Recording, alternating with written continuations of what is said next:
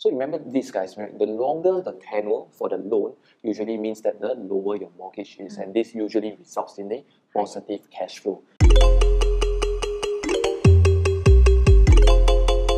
Guys, I'm Germaine And I'm Sean. and we're the co-founders of iQuadrant. In our series of videos, we'll be sharing with you guys property investment knowledge, strategies, and tips. And in this video, we're going to share with you one of the five criteria to select a good industrial property for investment. So today we'll be focusing a lot into tenure.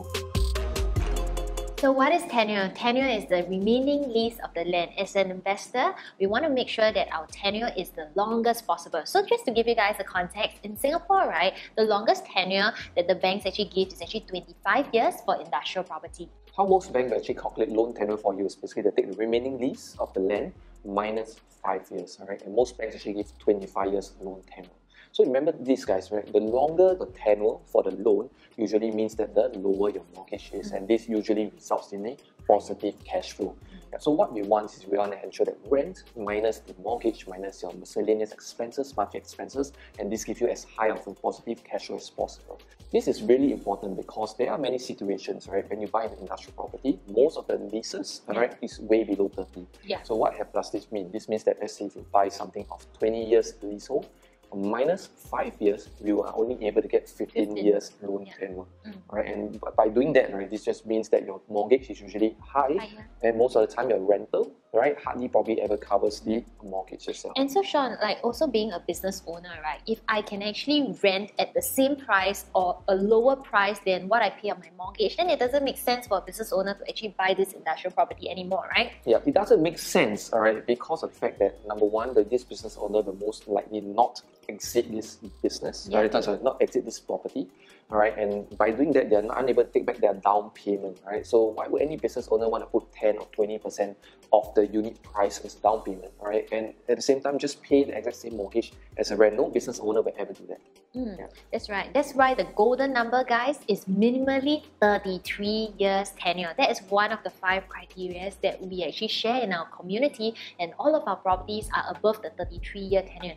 Of course, guys, if you can actually get a property that has a longer runway, like a longer tenure as well, 40 years, 50 years, good for you. Go ahead as well. Yeah, so why specifically 33 years, right? Yeah. Because in Singapore, we have this thing called seller stamp duty, right? Oh, yeah. And there is seller stamp duty for three years. Mm. So what does this mean? There is no longer gone are the days where you buy this property and you're going to flip, Flip it the very next day, it. right? So when we buy into any industrial property, we need to be prepared to hold it for a minimum of three years. Mm. So using a 33 years minimum tenure Mm. minus a three years holding period, 30, yeah, minus another five years, which the bank criteria to minus it off. 25 years. So at 25 years means that we are actually taking care of the next investor or the next buyer. So we're buying this with the next buyer, buyer in mind, right? So ensure that we are able to exit this particular property itself. Yeah. So of course, as I mentioned, the longer the better. But it will come to a point where the longer tenure doesn't make sense already, and that is where the freehold industrial property comes in at all. And and also, right? I mean, think about it, guys. As a tenant. Today let's wear a hat of a tenant. Okay we are all tenants right now. So do we actually care whether like a building is a freehold building or a leasehold building? We don't. And in fact what the tenant really cares about is really what is the rental and how the inside of my unit looks nice. If it looks good looks not too bad then okay all right i'll be willing to rent it at a lower pricing than you know somewhere in the cbd area. So that is very important as an investor to wear different hats. Exactly right. So in this scenario, all right, you just imagine, imagine this, right?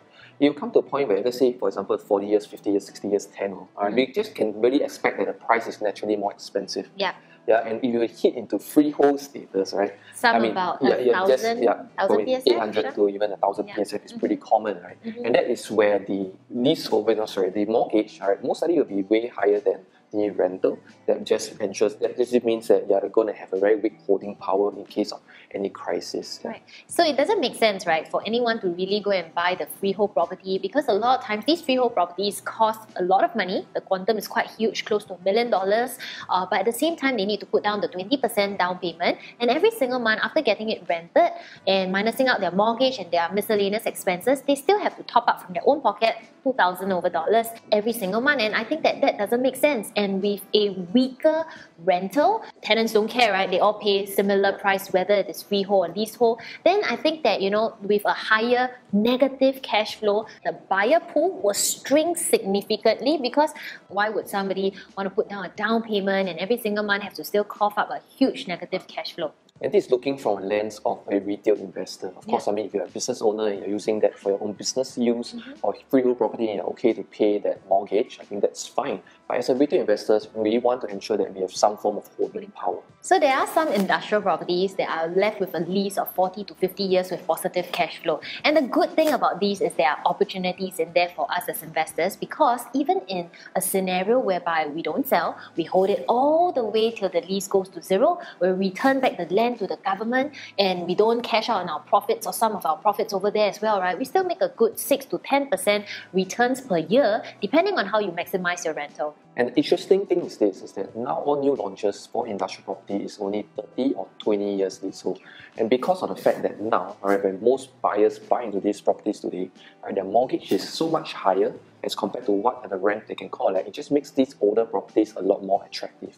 Imagine those 40 or 50 years Yeah. leasehold versus this 20 year leasehold. Yeah. Right, the tenants are still going to pay the same rental. Obviously, this 30, for the 40, 50 years leasehold is going to be a lot more attractive Yeah. for retail investors. And I think that that is the opportunity for us as investors to actually make good amount of profits and also um, see through the whole investment as well. Yeah, and this actually results in a slight capital appreciation for these older properties itself, just from the fact that the decaying or basic depreciation for this so-called 20 to 30 years leasehold is, is, is as such. Yeah, so I think it took us quite a while as well as investors ourselves. It also took us a while to navigate around the whole industrial property because there were not a lot of information out there as well. And so as we grew um, with our industrial portfolio, I think that all these things were some of them were actually our past mistakes as well. So we hope that you actually enjoyed this video and received some good value and understanding tenure as well. So again, we are going to summarize.